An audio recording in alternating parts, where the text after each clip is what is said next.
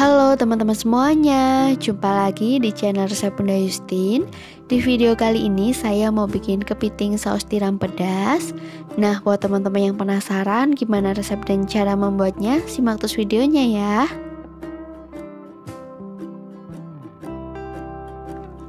Langkah pertama, didihkan air. Masukkan setengah kilogram kepiting yang sudah dicuci bersih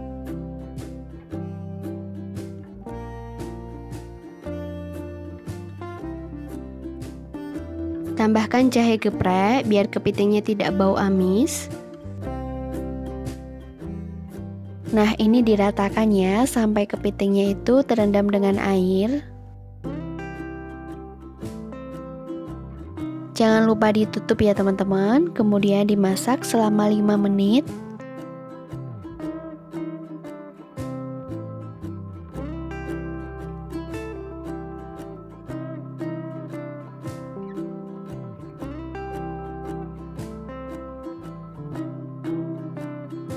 Kalau sudah 5 menit, matikan api kompor, kemudian angkat.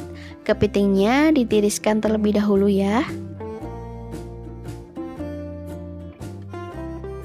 Di sini sudah saya siapkan bumbu halus, ada 4 siung bawang putih, 8 siung bawang merah dan 7 cabai merah keriting. Kemudian ini di blender ya.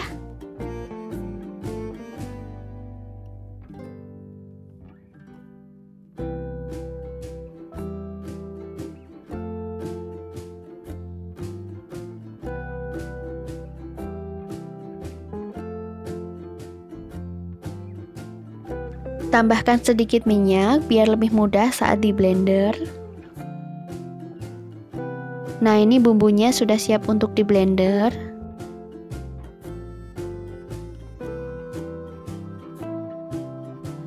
Oke teman-teman, ini bumbu halusnya sudah jadi.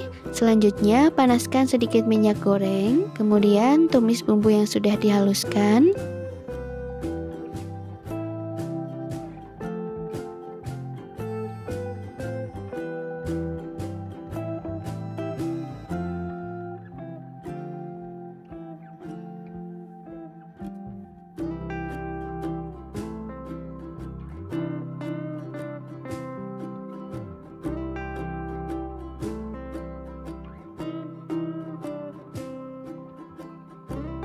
Kalau bumbunya sudah matang dan tidak langu, masukkan 3 lembar daun salam, 1 batang serai,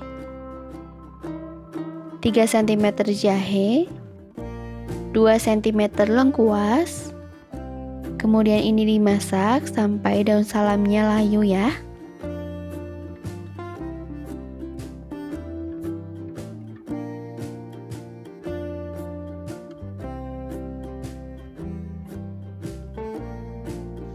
Tambahkan air secukupnya, sesuai selera ya teman-teman, mau kental atau mau encer kuahnya.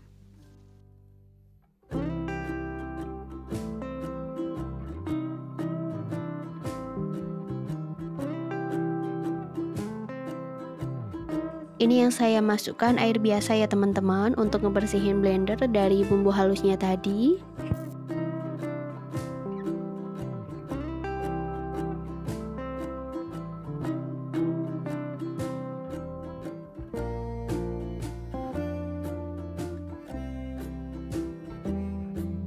Kalau kuahnya sudah mendidih, masukkan kepiting yang sudah direbus tadi ya.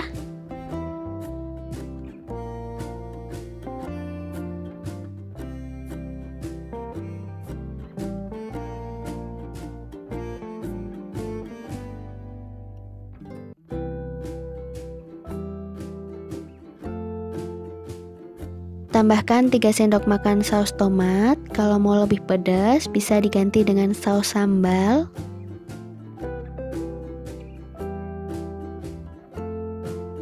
5 sendok makan saus tiram.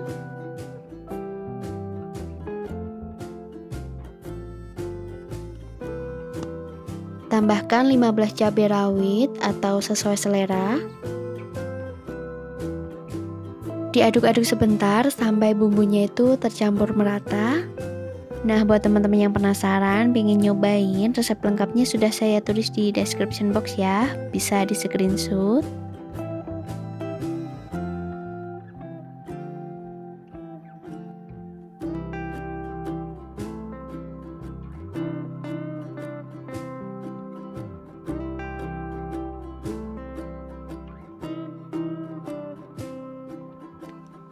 Tambahkan setengah sendok teh lada bubuk. Saya pakai merek ladaku ya. Untuk gula, garam, dan kaldunya sesuai selera ya. Di sini saya tidak pakai garam lagi karena kaldunya sudah terasa asin dan sausnya tadi udah ada rasa asinnya ya teman-teman. Jadi sesuaikan sama selera masing-masing saja.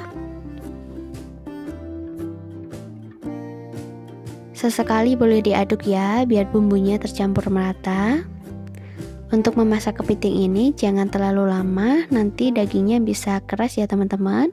Masak selama kurang lebih 10 menit aja karena tadi sudah direbus selama 5 menit.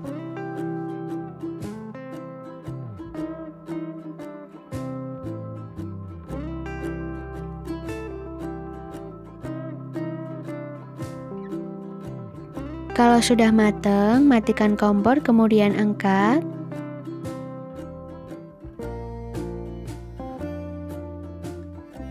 Nah ini dia teman-teman. Kepiting saus tiram pedasnya sudah jadi. Ini rasanya enak banget, mantep banget Apalagi dimakan dengan nasi yang masih hangat. Oke teman-teman kalau gitu sekian dulu video saya kali ini. Semoga bermanfaat. Sampai ketemu lagi di video selanjutnya